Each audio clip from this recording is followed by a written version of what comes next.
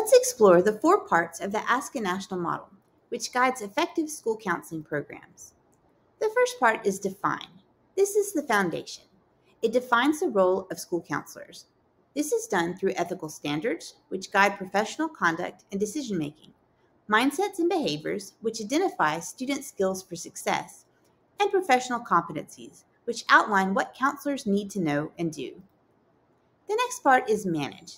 This is your program focus and planning. It has beliefs, mission statement, vision statement, and it helps you define your program purpose and direction.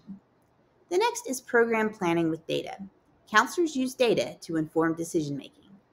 There are annual student outcome goals where you set measurable goals for student success, action plans and lesson plans that align activities with program goals, your advisory council where you gather input from stakeholders and your annual administrative conference, where you review and align your school counseling goals with those of your administration.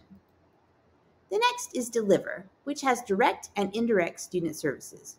Direct student services include classroom lessons and skill building activities, appraisal and advisement, where you assess student success and help students with goal setting.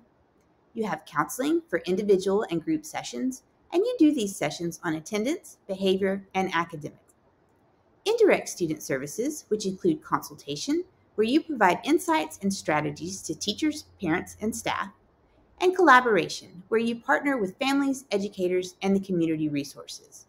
And finally is referrals, where you connect students with external resources for additional support.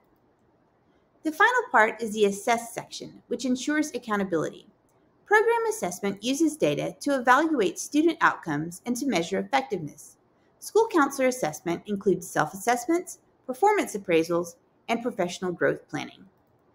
And that's the ASCA National model. I hope it helps you prepare for the school counselor praxis. Good luck!